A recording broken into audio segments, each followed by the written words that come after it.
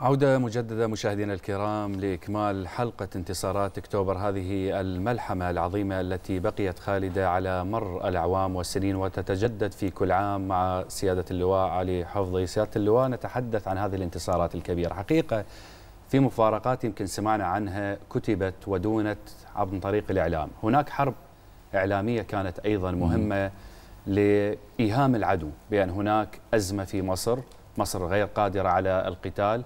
وهناك إعلان بأن سوف تكون هناك مناورات عسكرية لتجربة بعض المعدات العسكرية في أماكن وكانت هذه الخطة هي خطة بمثابة آه، خطة كبيرة وأوهمت العدو بأن مصر لن تخوض حرب في هذا الوقت وبدأت في تكديس المواد الغذائية وتهيئة كل هذه الظروف. كيف كانت معطيات دور الإعلام في إيهام العدو فتكون معركة إعلامية كبيرة أيضا بجانب المعركة العسكرية؟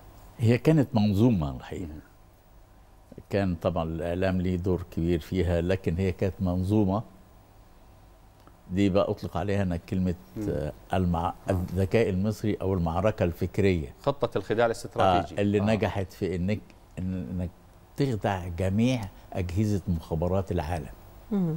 بما فيها المخابرات الإسرائيلية والمخابرات الأمريكية. حتى أنا يمكن هنري كيسنجر اللي كان وزير الخارجية الأمريكي ومستشار الأمن القومي أعترف كده إن لغاية الأسبوع الأخير وأنا بسأل أجهزة المخابرات هل تتوقعوا إن ممكن إن يبقى في معركة تتم في القريب؟ كل تقارير المخابرات آه، اللي سواء كان الأمريكية أو الإسرائيلية الاثنين قالوا غير متوقعين مثل آه، ما تم في المعركة بتاعت 6 أكتوبر. أه بعتقد المعركة الفكرية دي وطبعا لعب فيها الإعلام دور رئيسي إنما كانت منظومة بيشارك فيها نقول كيفية تنفيذ الخداع السياسي كيفية تنفيذ الخداع العسكري كيفية تنفيذ الخداع الاجتماعي. لدرجة إن يمكن البعض كان يقول لك إحنا طالعين العمرة وطالعين صحيح. آه مش عارف زيارات خارجية وجاي لنا وزير من الخارج وزير الدفاع مش عارف الروماني أو بتاع رومانيا جاي يزور مصر في التوقيت ده. فيعني ودي النقطة اللي بتوصل لنا الرسالة من خلال سؤال حضرتك الحقيقة. مهم قوي بقى إن إحنا لما نيجي نعمل أي حاجة لازم تتم في شكل إيه؟ منظومة عمل. كل منا كيف يستطيع أن يقوم بدوره في هذه المنظومة. فنتيجه وكان الحقيقة رحمة الله عليه الدكتور عبد القادر حاتم كان آه. ليه دور كبير في الإعلام كان آه وزير الإعلام وت... آه وتنظيم هذه المنظومة الحقيقة.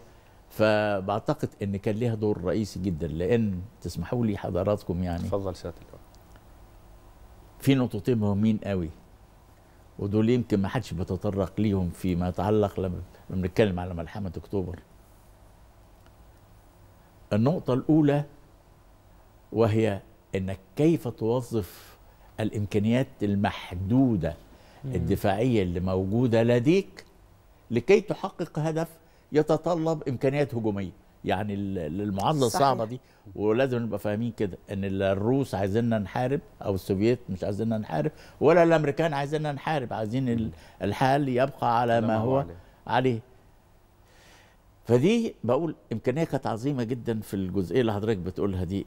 إن كان لديهم شعور إن الإمكانيات اللي عندنا لن تمكننا من إن إحنا نقوم بمثل هذه العملية لأن ما عندكش سلاح هجومي وعندك لا صواريخ ولا طيارات بعيدة المدى تستطيع أن تؤثر على الجانب المعادي.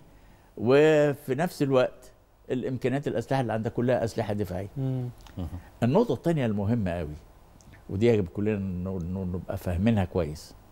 الجانب المعادي لينا. لديه في العقيدة.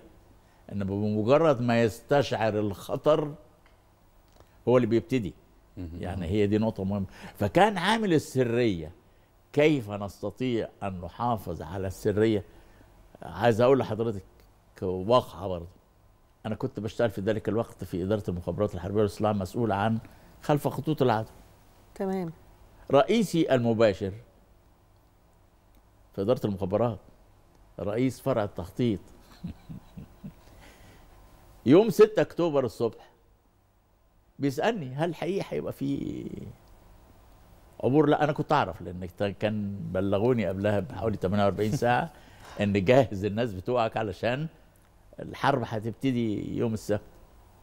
فشوفي حضرتك كمان يبقى رئيس فرع التخطيط في إدارة المخابرات مش عارف إن الحرب هتبتدي. النهارده. سريه تامة. كان يعني حتى يعني- السريه جوه جوه الجيش نفسه والقوات المسلحة. مش حضرتك يعني مش كل الوحدات. ليه؟ لأن الجانب المعادي بتاعنا لو استشعر إنك أنت كنت هتنفذي العملية دي في اليوم ده أو في التوقيت ده يبدأ بالهجوم. يبدأ هو بالضربة بتاعته. فكان لو ابتدى هو الضربة كان التأثير هيبقى مختلف طبعا نعم. لأن تحقيق المفاجأة بيحقق آه،. نتائج مختلفة